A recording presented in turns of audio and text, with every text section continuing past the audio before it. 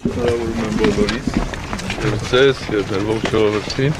Իհարկե 30 տարի առաջ մեր ողջ ժողովրդի երազանքն էր դարերով երազանք վերականգնել իր անկախ պետականությունը եւ 29 տարի առաջ այդ երազանքը կատարվեց 29 տարվա մեջ ունեցանք եւ մեծ հաղթանակներ դժվարություններ իրոք բարձրացինք կարծեմ բոլոր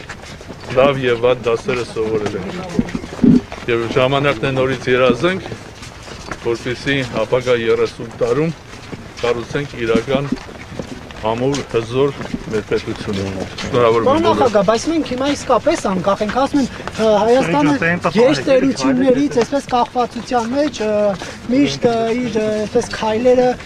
կատարում է դրանք հաշվի առնելով Ռուսաստան, Ամերիկայի Միացյալ Ինչքան հետաքրքիր է, այսքան երկար մի մի փորձեցիք առաջարկել, որի պատասխանը շատ կարճ է։ Դուք չել ասեք։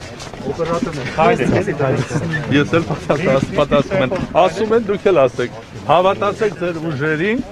Աշխարհում որևէ մեկ մեկը չկա, որ ձեզ, ինձ, մյուսներին կարողանա կառավարի, եթե մենք ուժեղ ենք։ Եթե ձեզ թվում է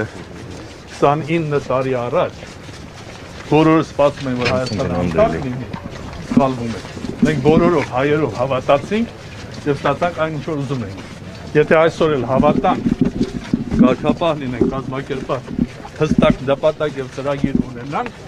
ապա կհասնենք։ Պարոն նախագահ, ընդդիմադիր քաղաքական ուժերը նշում են, որ երկրում սահմանադրական կարգ է տապալում, Ես բայց ուզում եմ, ես ուզում եմ նորից շնորհավորել բոլորին, հուսալ